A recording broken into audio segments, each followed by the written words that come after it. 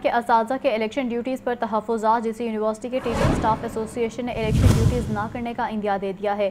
कहते हैं, पहले पंद्रह फ़ीसद अलाउंस का नोटिफिकेशन जारी किया जाए, फिर ड्यूटी देंगे। मजीद क्या तफसीत हैं, ये बताएँ कि आतिफ परवेज़। जी बताइए।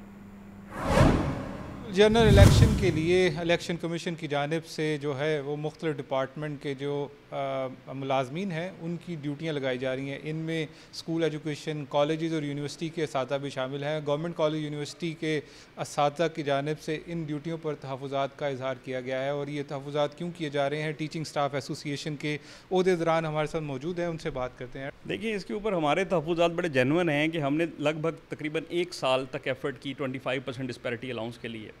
वो डिस्पैरिटी अलाउंस हमें बहुत लेट मिला और उसके लिए बहुत कंपेन चलाई गई, बहुत ज़्यादा रिजेंटमेंट थी फैकल्टी के अंदर, इसे हमने एड्रेस किया। अच्छा जब वो हमें मिला तो उसके बाद 25 परसेंट के बाद जब 15 परसेंट अनाउंस हुआ तो हमारा ख्याल था कि हमें ऑटोमेटिकली मिल जाएगा, लेकिन एच e ने एक नोटिफिकेशन के ज़रिए हमें इस अलाउंस से महरूम कर दिया और उस नोटिफिकेशन के तहत ये कहा गया कि हम सरकारी मुलाजमीन ही नहीं हैं। जब हम सरकारी मुलाजमीन नहीं हैं तो फिर हमें ड्यूटीज़ के लिए क्यों पुकारा जा रहा है? हमारी यहाँ पर रिजेंटमेंट सिर्फ़ इतनी है कि अगर हम पंद्रह परसेंट अलाउंस के लिए इंटाइटल नहीं हैं और हम सरकारी मुलाजमीन के स्टेटस ही भी नहीं पूरे उतरते तो आप हमें क्यों बुला रहे हैं? तो हम में से कोई भी बंदा ये नहीं चाहता कि हम अगर हमें कोई असाइनमेंट दी जाए तो हम वो पूरी ना करें।